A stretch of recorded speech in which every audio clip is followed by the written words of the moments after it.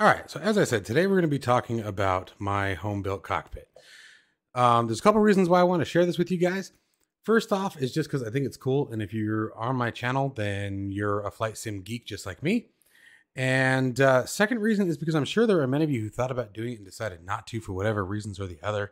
And uh, so today I'm just going to show you what I've done and uh, how I put it together and uh, you know, and see what you guys think and any tips and tricks, and just you know, sharing the uh, the simulation geekness around. Now, one of the things I want to make very very clear as we get started this, I am not uh, a woodworker by any means. Um, and you guys are going to find that out as we dive in deeper here. But I do want to walk you guys sort of through how I did it all, the materials I use. It's primarily just a couple of two by threes, maybe a little bit one and a half squares, and um, some plywood, uh, three quarter inch plywood um, is the bulk of it. So the really cool thing is, is we're going to sort of just work our way around from the side. Now, one of the things that obviously that really spawned it is when I got the Virpil products. The Virpil products are so nice and they're so smooth and they're such high quality. I really wanted something really good to complement them. Now, um, they come with some really great stands and mounts that uh, Virpil has as an option. But again, I wanted something much more sleek, much more um, cockpit looking, if you will. Um, so all I've done here, this is just a very simple pedestal um, that uh, you know I made from again some two by fours, some one and a half squares, um, and then just the three quarter inch plywood on top. Now the reason why they're spread out like this is if you get to the mounting system, let me get the camera up under here. What I've done is created a platform for the throttle and the stick to sit on. Now, the reason why I used these very long screws that are up here, let's see if I can get my hand under there. There we go. Um, is because it's I made this like this that way I can adjust it. I can actually adjust the elevation up and down. I just used an easy router. I don't know how well we can see under there. Probably not very well. Um, but I I just cut a quick groove out for the uh, connectors, uh, the USB cables to plug into. Um, and then just using the nuts on top or the bolts on top with the washer and washer nut on the bottom, I can lift and raise it um, as easy as I want. Then I used a quarter inch uh, just window sill or window sealing um, foam to go around the layers of all the devices on the cockpit in order to uh, give it that uh, compressed look. Now, this wasn't necessarily meant for cosmetic beauty, if you will. Um, we're going to be doing something a little bit differently. So we're going to leave the, the, the foam here, but then what we're going to do is we're going to um, put some trim over the edges of all of this to cover the foam and just make it look a lot, lot nicer and clean it up. We're going to paint the bolt heads and everything black as well so it sort of blends in with the rest of the cockpit. Now, if we move forward to the WinWing panels, so I've got the WinWing takeoff panel and the WinWing uh, combat panel. These were a little bit trickier because I didn't want to mount them permanently. You know, if I ever decide to upgrade it or move to a different panel, um, you know, I wanted to be able to pull them out easily. So I'm going to try again to get the camera back behind here. Let's see if I can do that. I don't think that's coming off.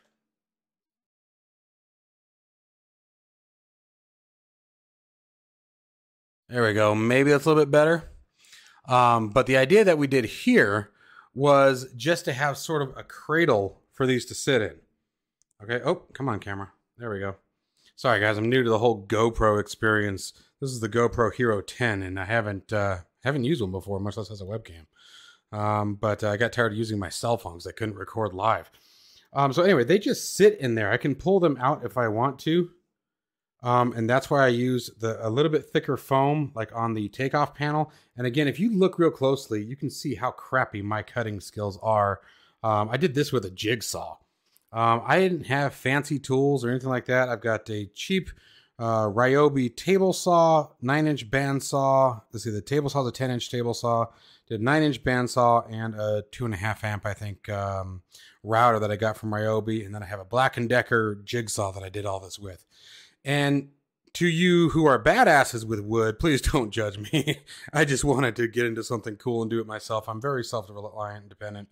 Um, but again, to show you guys that, you know, anybody can do this. And, and it definitely has changed the simulation experience for me. We'll talk about that and do a little bit of a demo later on towards the end of the video. Um, but so I've got the takeoff and the combat panels just sort of resting in there. Um, now you have to really push to get them move around. Like if I move things, if I, uh, you know, I'm so I've taken off, gear up, okay, you know, uh, master arm, you know, even the jettison, you have to really push that jettison button hard. Doesn't really move anything around. It works really nice. And and you can't feel it, even though it does have a little bit of wiggle. You don't notice it unless you're really looking for it, um, being hypercritical. Now with these, so first let's talk about the tablet. The tablet is just literally that's all it is. It's a 10 inch Android tablet. Um, I have it velcroed in there that way I can pull it out and charge it. I initially was going to do a router cutout here and let the charger cable come in from the back and just plug in. But uh, this is actually the third of my uh, forward control panels. And uh, one of my my uh, curses, if you will, is I don't do well drawing things on paper and saying, "Yep, this is what I'm going to want." Right? Um, it's sort of as I see it is when I realize, oh, I don't like that, and it happened a couple of times. Um, so some of you who are more experienced and wiser than me can probably figure out much better ways to do this so you don't waste a bunch of wood. And then we're going to talk about the cost of all of this later on here towards the end of the video.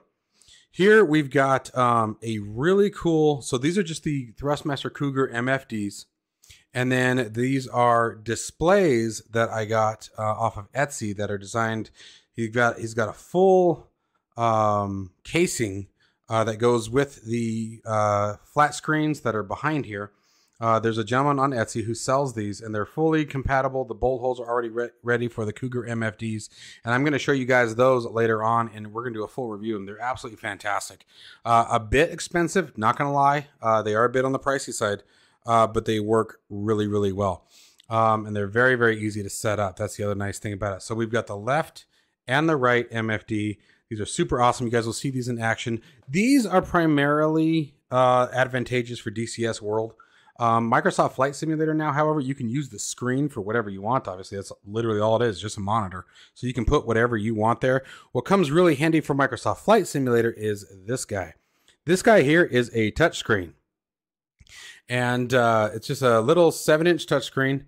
Um, and this thing is awesome. So for things like Sky4 SimPad, uh, Navigraph. Heck, the other day, just testing around, I actually put OBS on here. That way I could do my stop and start recordings very, very easily uh, and uh, keep things nice and smooth. But this thing is super awesome. Um, for any of your pop out screens for Microsoft Flight Simulator, SPAD.next, if you're messing around with your controls, uh, there's a really cool application that I actually really like this on. I wish I could show it to you guys, but uh, I'm under NDA at the moment. I can't show you guys until it's released. Um, but uh, that's another. There is another option that would go here. But like I said, the Sky4 SimPad works great on this. I open it up on a browser and then just drag that browser window over to this screen. And you know, if you guys have don't know what Sky4 Sim is or Sky4 SimPad is, uh, it's an application from it's basically an electronic knee board for Microsoft Flight Simulator. Uh, make sure you guys check it out. I did a video on it just uh, five or six videos back. So if you just go to my channel, it should be relatively easy to find. but uh, um, I can navigate the windows very, very easily and then maintain control of the flight controls everywhere else. Um, and then, of course, we have our flight stick here. This is, again, the Virpil MC3 base uh, with the Mongoose uh, flight stick. This thing's absolutely freaking awesome. Now, the pedestals are just held here by the weight of uh, the, um, gosh, forward control panel, whatever you guys want to call it. Um, now, the reason why I did that is exactly what I'm already debating. My flight stick is a little further back when I'm in the flight position that I like. Nothing too ridiculous or uncomfortable, but it's enough where um, I've definitely noticed it. So what I think I'm gonna do is is cut another inch or so out, and that'll allow me to push the pedestals forward, which again will move the stick forward, and I can do the same thing over here on the throttle side of the fence. I'm sorry, guys. I'm, I am so terrible at this camera work. I'm awful at it. Moving to the top here is very, very simple. It's just a nice uh, flat base, but I've got my class echo. Many of you guys have asked before. Oh, here, just realized it's off. There we go. Here is the Class Echo. I have talked about this before many, many times in a lot of my flight simulator videos, specifically relating to Microsoft Flight Simulator. It unfortunately does not function with DCS World. Gosh, I wish it would. Um, I've begged and begged the developer, but uh, and I'll continue to beg. Eventually, you know, we, we might we might be at retirement age, but eventually I'll win. I'm positive of it. Uh, this thing is absolutely fantastic. I can't really show you anything yet, um, and there's a few reasons why, um, because I'm messing around with something else.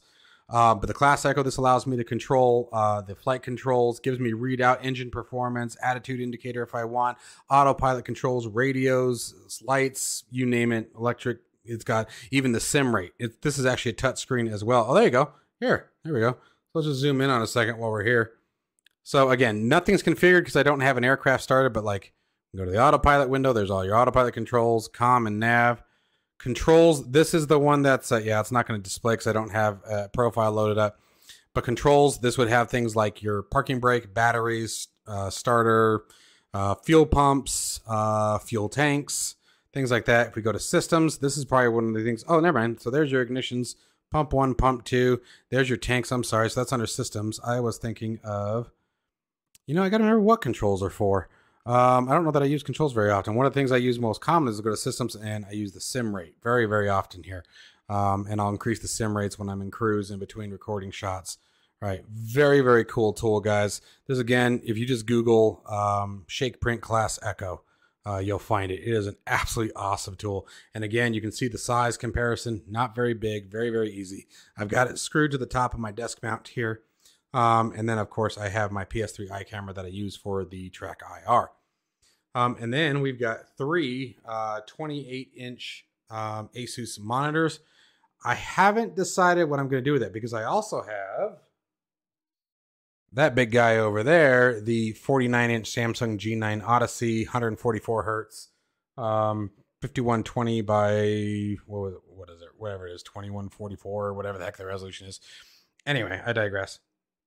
Now, one of the cool things that to show you guys that something that I can show you on the tablet that's kind of fun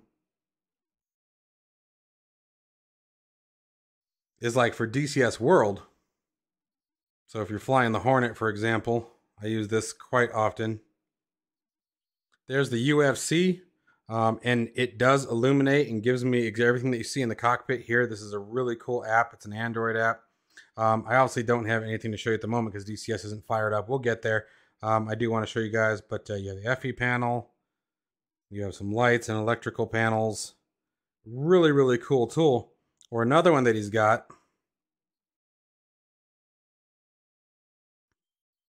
So if we go over here, is DCS Nav. Now this probably, oh, I'm surprised it even loaded. So you can see right now it does a full globe. But when we're actually loaded into the sim, say I'm in um, say I'm in uh, the Caucasus map, right? So it'll actually take me over to Georgia. Um, let's see here. Would that be right in there, right? Yep. There we go. Hey, yo, for geometry class or geometry, geography class. Um, so there's Georgia, for example. This is one of the prime regions of um, DCS World in the Caucasus map. Okay, uh, like there's Kobuleti there. And then we move all the way up here. There's Sukhumi. So it will actually show you depending on what the server settings are. You'll I think you'll always get at least your own aircraft here, but like if your server isn't uh, restricted, it can show you all the different aircraft in the air or even just the fog of war aircraft, so your own allies. Really cool tool. Now the drag is that you can only have one or the other application open. That is one of the drags there. And then underneath we simply got my TPR rudder pedals. We've got the USB controllers on the right and the, or USB hubs on the right, and then down there on the left. Now we're going to do side paneling for all of these.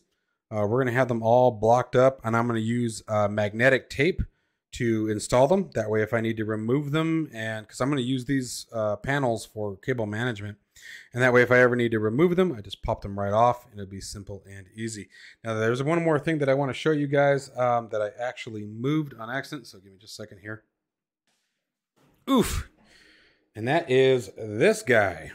So this is just a cheap $13, I think it was, uh, wireless keyboard.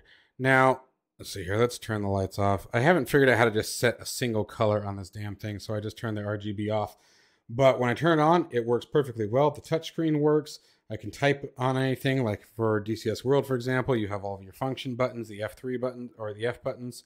Um, so you can change your different camera views, respond to radio controls, all kinds of stuff. And it fits very, very nicely. It's just Velcro. And if I need to for any reason, just pop it off and we're good to go.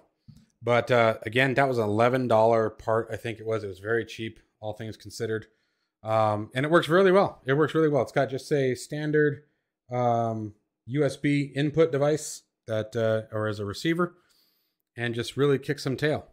All right, so now I'm going to go ahead and fire up DCS World, guys, so you guys can see uh, the uh, simulation in its pride and, and joy, if, if you will. Um, I do think that this absolutely shines in DCS the most, um, but uh, we'll do a little bit of Microsoft Flight Simulator so you guys can see some of the cooler parts of that. Okay, so you guys are going to have to kind of forgive me. It's going to be really choppy. I have all three screens running, as you guys can see. Uh, I don't normally have all three screens running when I am recording. Normally, I'm just using one, and these are 4K uh, screens as well. So it's going to be a bit laggy uh, because we are recording at the same time. But I wanted to show you guys the coolness of it. So first off, to anybody who does recording, take a look at this. This is actually a remote control for OBS. Just Google OBS remote control, um, and you can use it on like a tablet, which is what I'm doing here or you can you know put it on your cell phone anything that's a wireless device that can connect to your computer that's actually managing the recording. But while we're doing that let's see here. I'm hopefully i'm not bogging anything down too much. Let's go to the ufc here show you guys some of the cool stuff and how this works. So first off we can go to autopilot. I hope you guys can see this on the camera. It's actually populating attitude hold heading select bar- barometric altitude. Lock that in there. Barometric altitude comes on. Here on our mfds we can see the FLIR pod. There's our targeting pod. I know, again, it may not be the clearest of views, but I can very easily manipulate anything that I want to very quickly. So now it's following the uh, vertical velocity indicator. And I can set a target area very, very quickly. Let's see here. Let's say this building over here was a simulated target. We're not going to release any ordnance on the innocent here, but Okay, so there we've got our target selected. And then from here, I can very easily control it. And even though I have it up here on the monitor, believe it or not, is easier to see over here. Um, and uh, it also depends on what kind of view you want to use. I can actually move the camera up if I wanted to. Showing the keyboard off here, that little keyboard. If I turn my system on here, oh, you know what? I have it unplugged. I'm sorry, my fault but I would very easily be able to switch over to like the uh, flyby view if I wanted. But it is a really, really slick uh, setup. I'm really, really enjoying this. Um, and again, any kind of other information, if I wanted to, like if I had a text pad with maybe target information, I would put it over here and I could scroll through, you know, and still be able to access everything in regard to my controls. Um, even while I've touched the touchpad, I can still manipulate my controls here, select my different waypoints, box my waypoints, control everything. I can do the couple on the autopilot and uh, have the autopilot fly it for me. It just, there's so many cool things about this, guys. I've really, really had a great time setting this up. It's been a ton of fun. Um, let me, I can't activate the barometric altitude hold because my angle is too far off. There we go. Now the aircraft's going to maintain altitude for me and fly to my next waypoint all on its own.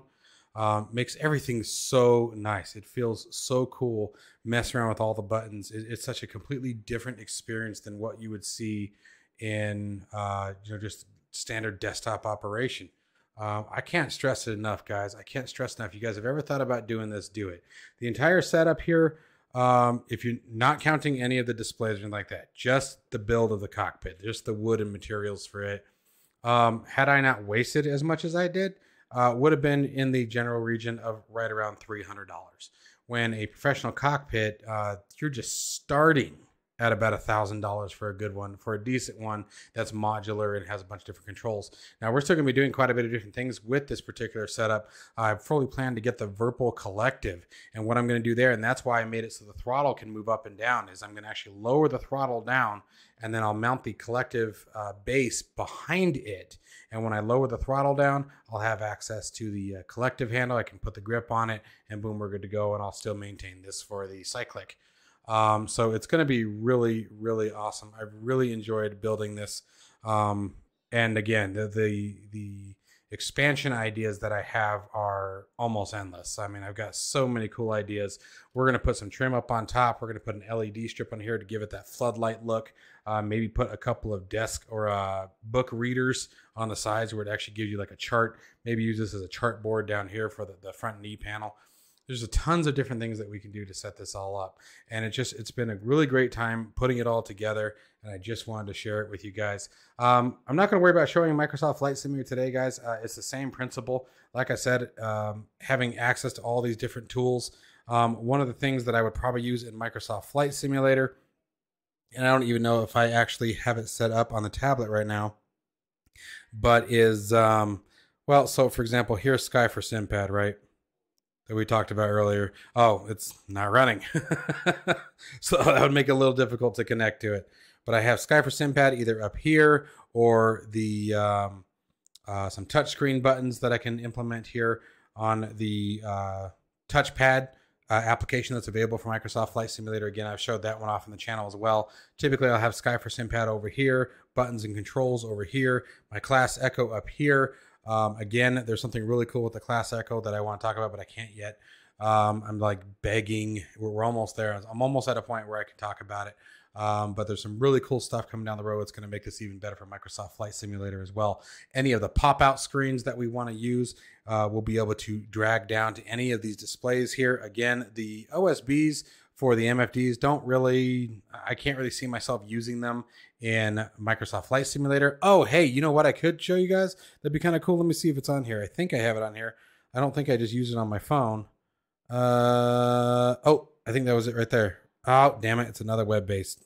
Let's see if it'll even connect. I don't think it will. But like the fly by wire CDU or the um, in this case this is the Furgo CDU for the PMDG 737 again it's not gonna load. I don't have it running so shame on me.